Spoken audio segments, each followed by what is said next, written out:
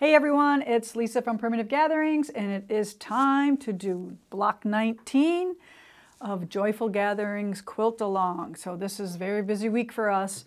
So hopefully our store will be full of people shopping and having fun and eating our cookies.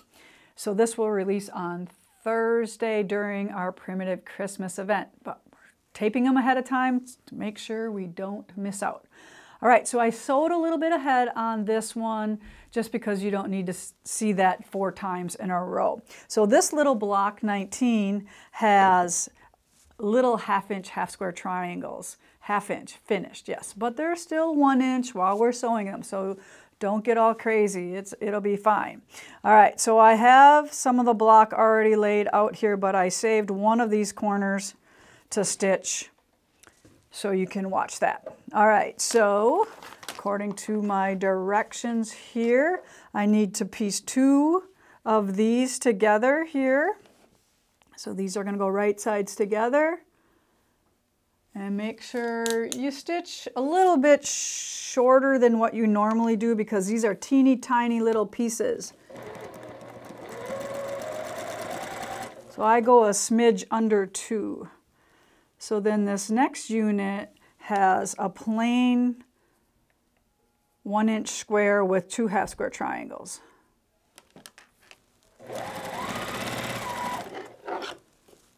All right, this one I'm going to press open, so I'll just give that a quick little finger press. And then I'm gonna add this last one here on. So don't be afraid of these. Yes, they are little, but they're not really little until you actually press them. All right, so I'm just gonna press this toward that square, and then I'm gonna press these two open. Don't ask me why, that's just what I decided. It's okay. All right, so here is my block. I'm gonna stitch these two together and then I'm gonna add that one on. So right sides together, nice and even there. So it's like making four little blocks and then you put them together into one block. I'm just gonna press this toward the half square triangle. Mm-hmm. And then we are going to add this one here on top to make a little, I don't know if these would be baskets or little bear claws or something like that.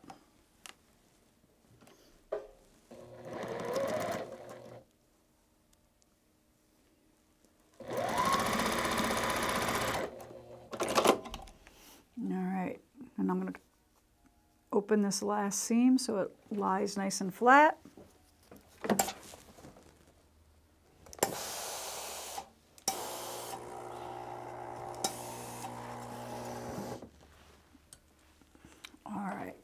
So at this point right now, I believe these should measure probably two inches, right?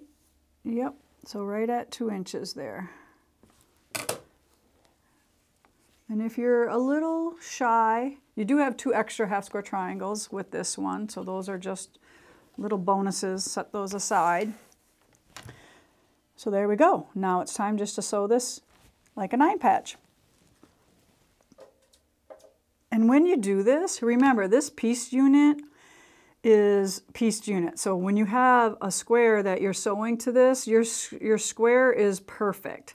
So I always refer to the square when I'm sewing then, because that is perfect, where your patchwork block is not. At least mine aren't.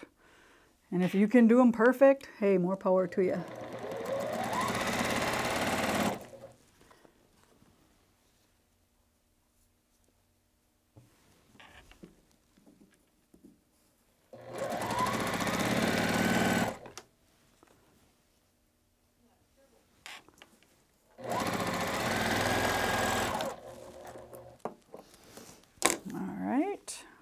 Those two together.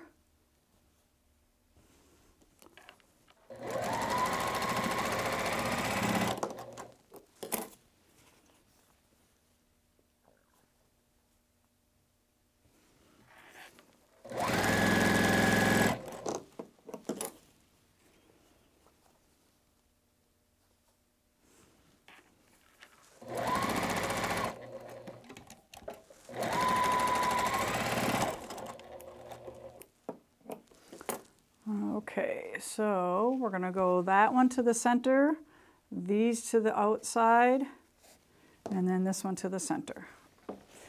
Moving Uncle Buck's basket there, my little quilt seeds.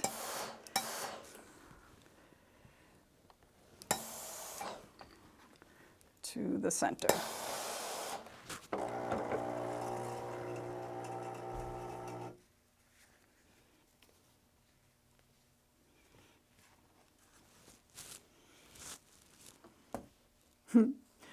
we got these little stress balls in our, our little motor box. We can use them as pin cushions. All right, I'm just nesting those two seams in there.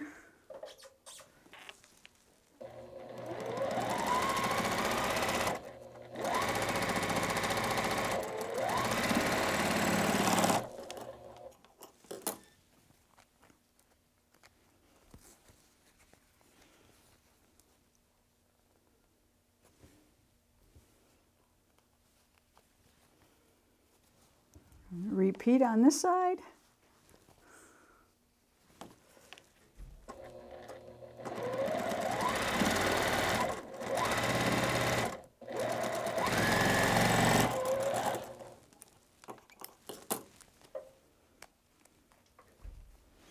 All right, let's check it out. It looks perfect. Okay. Press those last two seams open.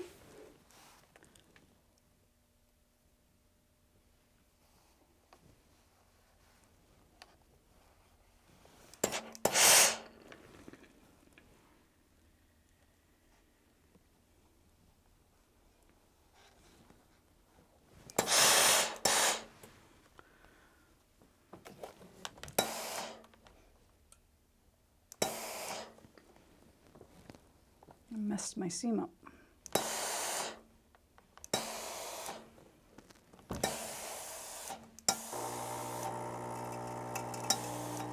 Lots of tiny seams in this block. All right, so let's see what she looks like. Give her a little trim. So it's just about cleaning up the strings on the edge here.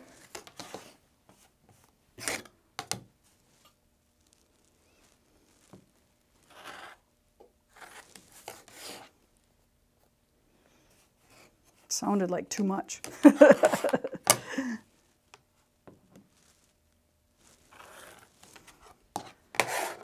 right, one more.